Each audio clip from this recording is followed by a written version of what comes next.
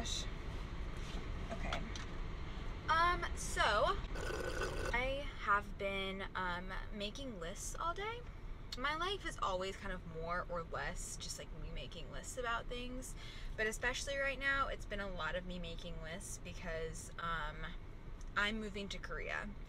And anytime you move abroad, there's just like literally so much that you have to do and it just helps me to feel organized and centered if I make lists about literally everything. I made myself some iced coffee. I didn't want any with caffeine, so I brewed myself some decaf. And also I got some oat milk. That's really good. Because I'm vegan, so like, you know. Right now, we are going to uh, find a suitcase because I need another suitcase to take with me when I go to Korea. Okay, let me tell you guys a story about my life the last six months, okay? So I moved back from Spain in January, and then there I was in America trying to figure out what I was gonna do. That lady kind of was looking at me like I was crazy because I think she saw the microphone on my dashboard. anyway, so I moved back, was trying to decide what my life was going to be. And um, I applied to graduate school and I was accepted to graduate school to start on the track to get my PhD in art history, which is what I got my undergrad degree in and is what I love pretty much more than anything ever. I first was super excited, I accepted, and um, then a few months down the road, I was kind of thinking that I really missed living abroad. I don't know, like being home for a little bit had been great, but then again, like if, like four months down the road, I was like, this is kind of getting boring. America's great, but like also sick of it.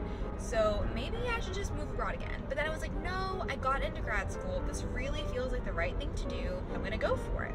So I started to look for houses in Philadelphia, which is where my grad school is. And like literally, you guys, nothing, like no housing opportunities were apparent. And I was just getting kind of frustrated, honestly, because I wanted it to just feel more seamless trying to find a place to live. Just like, I don't know, I kept running into all these different roadblocks. But I was like, it's still kind of early. It's still like in the beginning of the summer. I think that, you know, things are gonna, gonna be easier later on. Then I um, I went to North Carolina to work at a summer camp for like two weeks at like the beginning of the summer. And while I was there, I ran into my friend who I've known for like literally years. I don't even know how long I've known Margaret. I've known her for a really long time. Anyway, we were chatting, we were catching up, and I knew that she had accepted a job teaching in South Korea, but I hadn't heard the details of it. So she was just like telling me about it. And honestly, hearing her talk about moving abroad again, I was just like, I have got to move abroad again. like I have, I have to.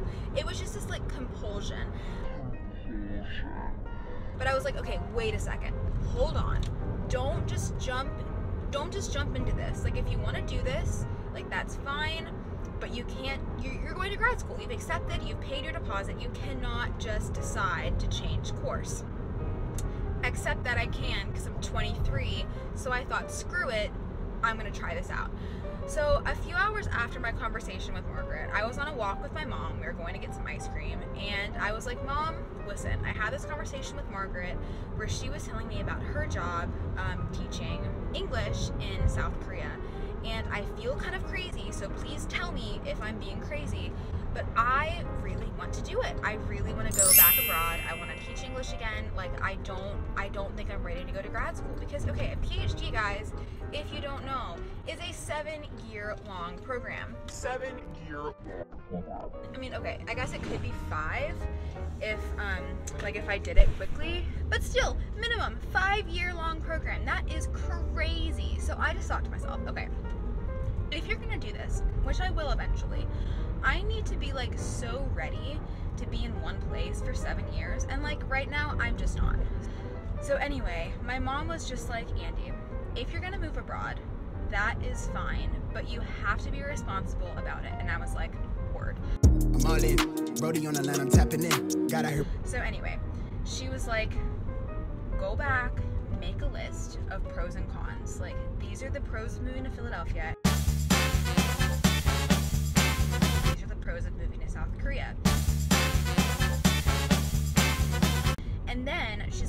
Also, don't just take the first job that you find. Make a list of everything that a job needs to have for you to take it. And for it to be like a responsible decision for you, you know, financially and whatnot. So I was like, okay, I can totally do that. I'm going to, you know, make a list, check it twice, do the whole thing, sure I'm gonna take a job. That's like gonna be a good one. So, anyway, fast forward two weeks later, I had a job. It met all the criteria on my list, and I was kind of like thinking I was gonna take it. But the final piece of the puzzle was that I had to email grad school and be like, hey, Temple, I know I told you that I was coming in a couple months, but actually I'm not anymore. Um, would it be cool for you guys to like hold on to my spot until, um, you know, next year? And lo and behold, they emailed back and they were like, Yeah, no problem. Go have fun in South Korea. It'll make you a better student. then I was like, oh, um, really that easy? And they were like, Yeah, no problem. Like you've already paid your deposit. Like we'll see you next August. and I was like, okay, this is amazing. So, three weeks after I made this kind of impulsive decision, I had a job, I had accepted a job, and um, I had deferred my grad school for a year. So now I am moving to South Korea in probably like three weeks, guys. Like, I don't exactly know when I'm leaving it because like visa stuff. But yeah, anyway. So here I am, and I'm going to buy another gigantic suitcase because I don't think my stuff will fit in a giant suitcase and a medium sized suitcase that I currently have. My camera fell, but we're back.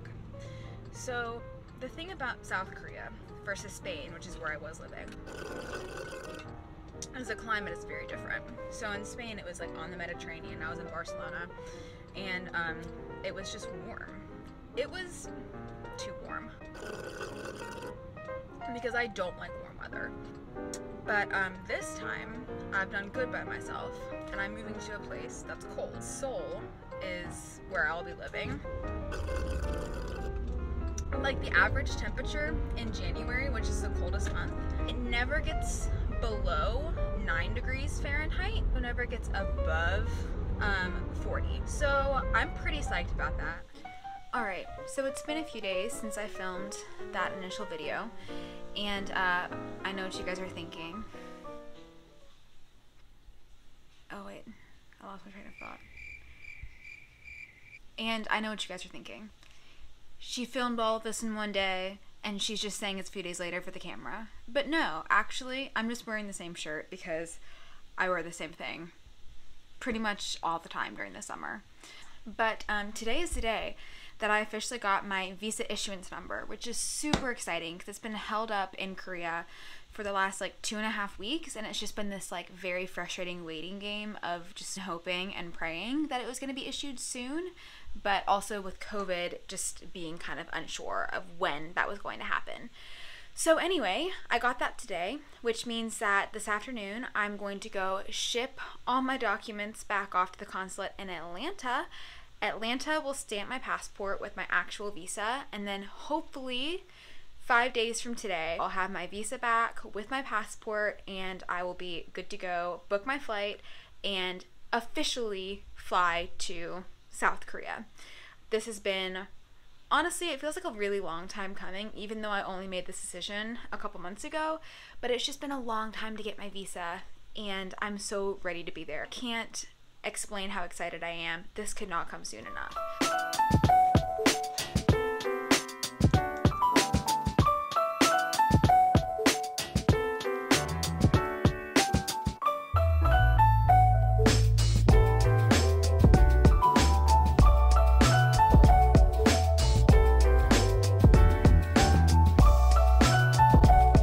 It's done. I dropped off my visa. I didn't film any of it because uh, it seemed like boring footage. I don't know. But um, it's done.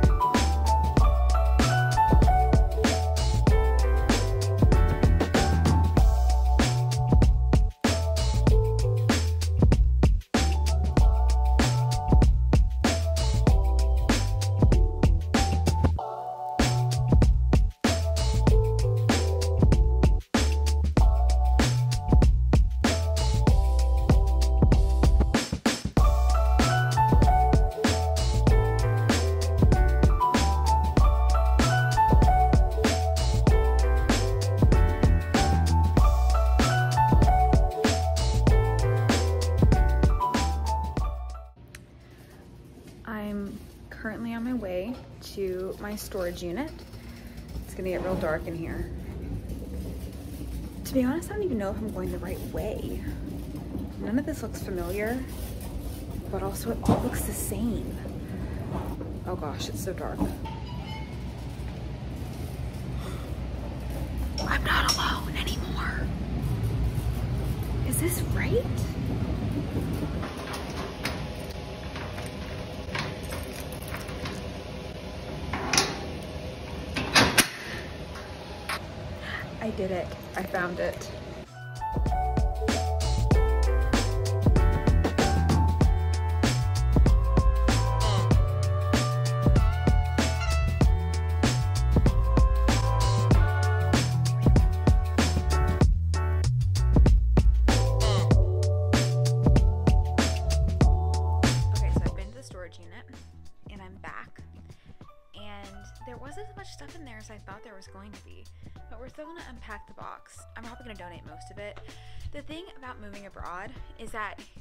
Everything that you're not taking with you into a storage unit and then you come back in a year and you look at all the stuff and you don't want it. These clothes that I put in storage, I was like, oh, I love this. I'm gonna wear this when I come back. I just don't have room for it.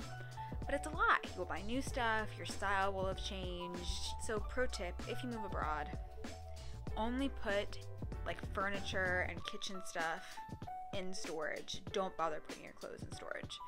But anyway, seeing as my visa is sent off and I should be flying out to Korea next week, I have started to kind of really seriously pack. I'm using my brother's room as a staging area, and um, I'm gonna show you guys that. Okay, so first things first, this pile right here is my outerwear. I probably have way too much, and I know that I won't take all of this. I doubt that I'll be able to fit all of this, but this is what I have so far. This is my favorite thing in the world that I have right now. It's this Calvin Klein down jacket that I bought at Macy's just a few months ago. I bought this specifically for Korea because I need something that is this warm. Next, I have this great dress and this great skirt, both kind of more wintry pieces, both from Anthropologie. Next, I have my pants. I have three pairs of blue jeans and three pairs of black jeans. Next, we have my sweaters. I'm gonna need a lot of sweaters when I go to South Korea. And then over here, I have extra toothpaste because they were having a sale at the store.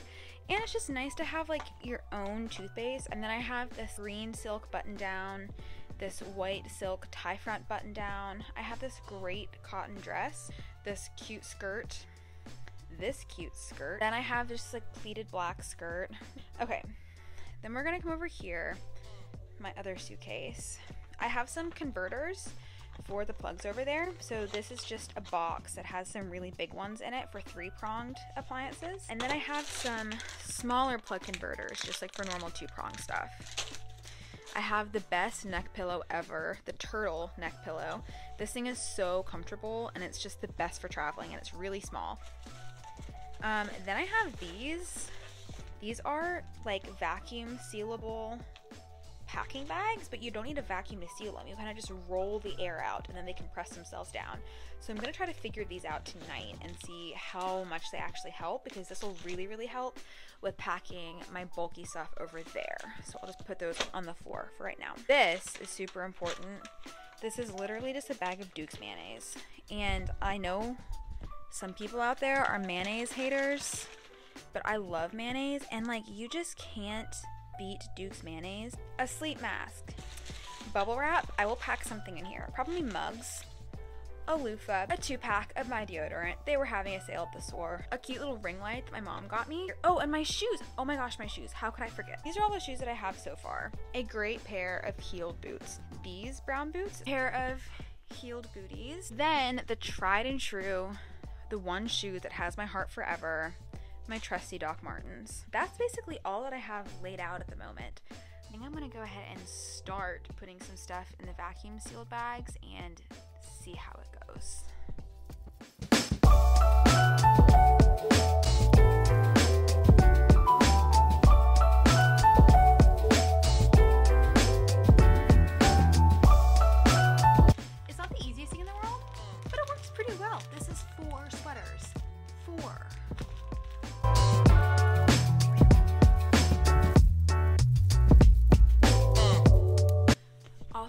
Just want to say for the record that I am being way more proactive about packing this time than I was when I moved to Spain. Normally, I'm up until like 3 the night before a flight packing, but maybe this time I'll actually be well rested.